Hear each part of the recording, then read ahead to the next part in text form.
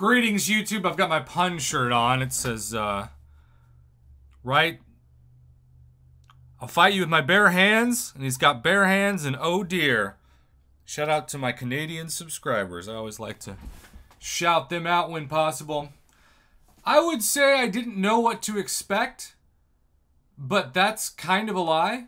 Um, I thought I knew what to expect because in the latest arena scores and results for both the six star basic and six star featured, I had several people tell me that they know enough botters and enough alt accounts that they just assumed that the extra 300 places that are now going to get both the six star basic, in this case Shuri, and the six star featured, in this case Moondragon. Moondragon does not roll off the tongue. I just I, I think Moondragon and I think that can't be that champion's name, and then I think to myself that is the champion's name. Come on, Prof. When you refer to yourself in the third person, you look even more like a tool. Um, I put up 33 million, easily got the five star, though I would still place 1,000 something. The uh, the six star basic of which I'm still hunting technically, Shuri, uh, really is the one I'm kind of kicking myself because I placed in the top 600 with 12 million. So some of you actually grinded for these champions. Some of you grinded for um, either or even both. Although I don't know how you do both. That's higher than my pay grade, which of course is zero. So uh, I have several people who are friends of the channel and arena grinders. One of them is Mr. Reaper. And look at this basic arena for Shuri. He sent this over to the channel.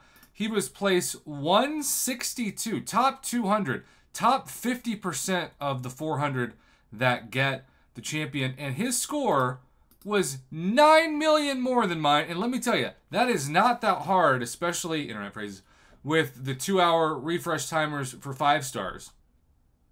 Six stars, you got the seven hours, whatever.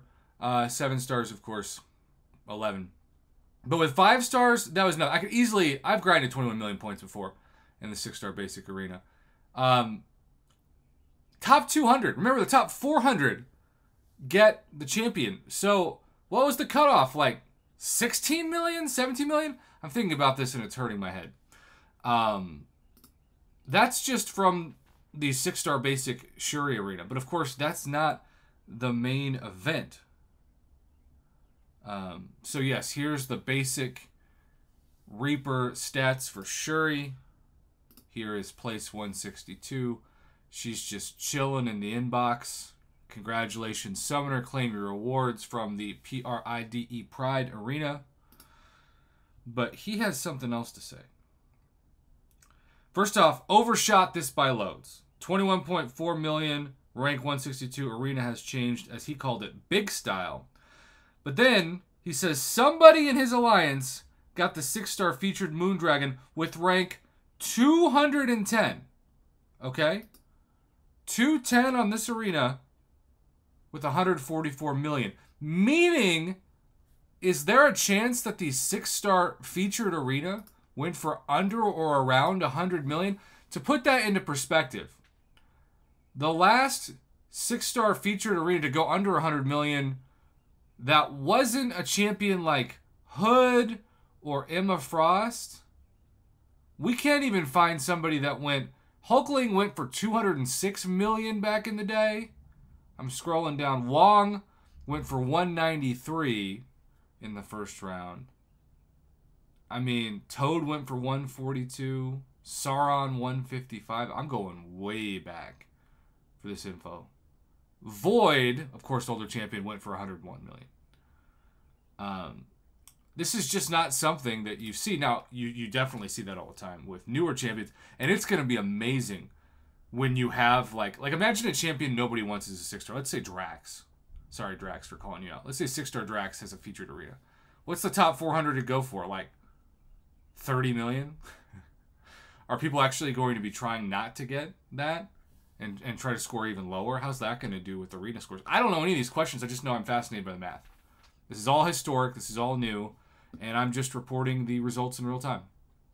So there you go, YouTube. I am so fascinated by all of it and look forward to seeing people's responses on what they think. All I know is that this is history, and you better believe we're going to be talking about this every week from here on out because if the bots stay home, and I'm sure there are still plenty of them in the leaderboards, but if they stay home to the numbers that they were here, that gives the average champion a chance for the average summoner. The average summoner a chance for the new champion. I don't know what I'm trying to say. I'm, I, I think this is amazing if this holds.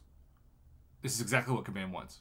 And if they continue to ratchet up their detection software, whatever that means, to catch cheaters, and it'll be even better. So, best pro player move ever, crazy low scores.